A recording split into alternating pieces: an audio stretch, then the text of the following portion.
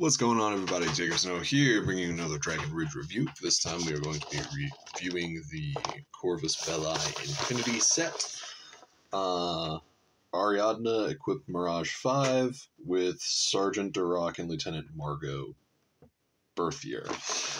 I have no experience with this game. Uh, from what I've read of their rulebook, it is a skirmish game that features a highly interactive combat system but ultimately, we are here for really cool Joy Toy figures. So, let's get this started. Alright, so off the rip, uh, there was minor damage to the package. There's our two stands, but as you can see right here, it's got this big old divot. Uh, not a huge fan of that. So let's look over what we got. First off, we've got our giant wolf man here.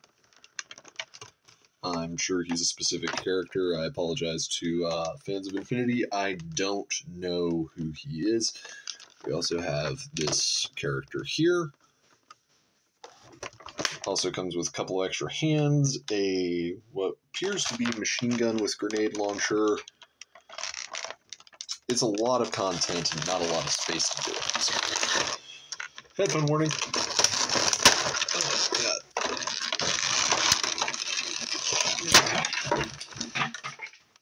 Stuff went everywhere.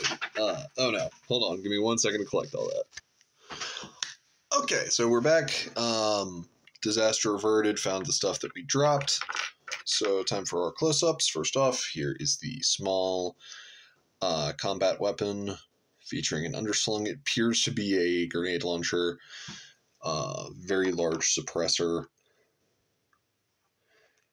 That I don't know what they were intending to do with that scope, but eh, it's it's not the worst of these that I've seen by a long, long way, but it's still pretty good. It's got some good detail on it. Uh, this is the female figure. Um, I believe that to be Lieutenant Margot. Um, lots of points of articulation, articulated arms, both um, shoulder, elbow, wrist. Um, joints are a little loose. That's not really a problem per se at this point because I'm not like heavily interfering with the figure, but uh, she also features a small sidearm that goes into this holster here. Uh, overall, very detailed, highly flexible, uh, double leg joints, hip rotation, legs are on a ball socket, and the feet are articulated both at the ankle and at the um, tip. So that's pretty cool. Tip. He says foot tip. Anyway, um, getting to the next figure, we've got the big guy himself, which is bound to be Sergeant Duroc. Uh, he features a nice little machete that goes in this sheet scabbard on the back. So there's his face. Very high detail sculpt. He's got exchangeable hands, just like she does. We'll get to those in a second. Uh, there's the backpack, also featuring the machete as seen earlier. Um, he's a sizable figure. I'm not sure how well he's going to stand up without the stand, so let's go ahead and give that a try.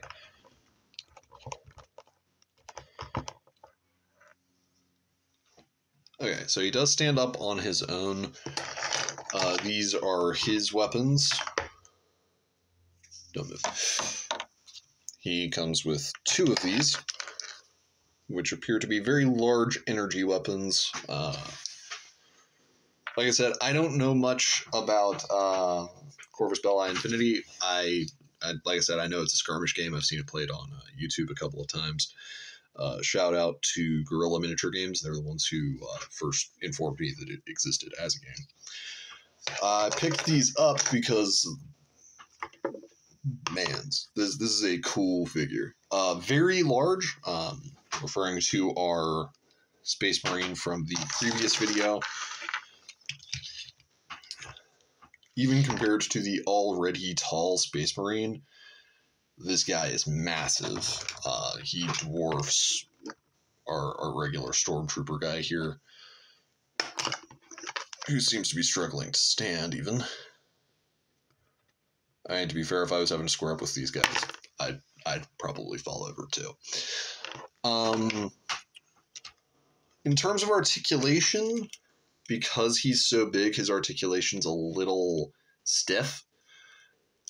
Like not a not a deal breaker or anything. Doesn't mean like have a problem with it per se. It's just um, usually stiff articulation indicates you do need to be careful with posing and such because you don't want to make a limb snap.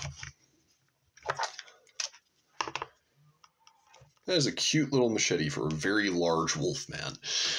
Uh, regarding the teammate here, like I said, her joints are a little loose.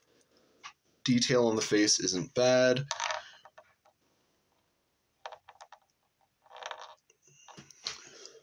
And regarding her weapon,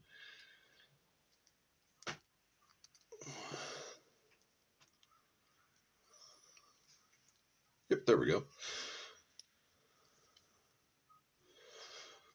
What's nice is compared to most lower end figures, she can actually bring the weapon into battery and like into firing position without it looking weirdly unnatural. So that's pretty cool. Um, yeah, very nice figures. Uh, her articulation's a lot looser than his, uh, which is not entirely certain as to why that is. Um, like her and this could just be to the pack that I got, but her right arm specifically is a lot looser, and it just popped off. Well, that's not good. Um, it appears to be a claw system, but as you can see, it her her arm literally just moved it just slightly, and it popped right off. So not sure how we're gonna fix that it might just slot right back on. But as it is, not a great start. Um, not a great start at all, actually, compared to the uh, Space Marine. Our Margot here is fragile to the point of borderline relevance. Um, all of that being said, especially considering I literally just got them out of the package and one of them is already broken, I would not give this one the uh, same five out of five that I gave the Judicar. Um, probably at this point, just I don't know if it's fixable or not. At this point, I'm going to give it a. Yeah, I'll, I'll be merciful and go four out of five, just because the quality of the sculpt and everything is so incredible. Uh, but if I'm not able to fix the figure and she just becomes modification chaff, that review is going to drop sharply, and I'll probably post a picture uh, onto our channel after a day or two once I uh, once I figure out if I'm able to fix it or not. Um, worth the price of admission? Again, difficult to tell. I mean, for him, mm, I was able to get it on sale, so it was forty dollars cheaper than it usually is. Uh, if it was at full price and I opened it and the arm just fell right off of one of the figures, I would be very upset. Having gotten it on discount, I'm not as busted up about it, but I still don't hold that it's worth the price of admission, even with that. I mean, he's a really cool figure, don't get me wrong, and these guns are neat, but the asking price is 140 and like i said i got it on sale so it was a lot cheaper than that but it's still 140 bucks for what is functionally two figures, and one of them is not very durable at all. So I wouldn't say that this one is worth the price of admission. The Warhammer ones, I haven't been disappointed yet, but um, Joy Toys Infinity line, they might need to work on their modeling a little bit, just because. So current review sitting at four out of five. If it is not a reparable break, it's going to probably drop down to two and a half, maybe three out of five. Um, I wouldn't personally spring for this box set unless it was on sale, just because again, she broke immediately. Not great. Um, but it still comes with some really cool stuff. And again, this giant wolf dude is awesome. It's just I don't know that just because it comes with two figures, it's worth that much of a price increase from even the Warhammer figs. Uh, the Warhammer figs, the most expensive ones on those are eighty.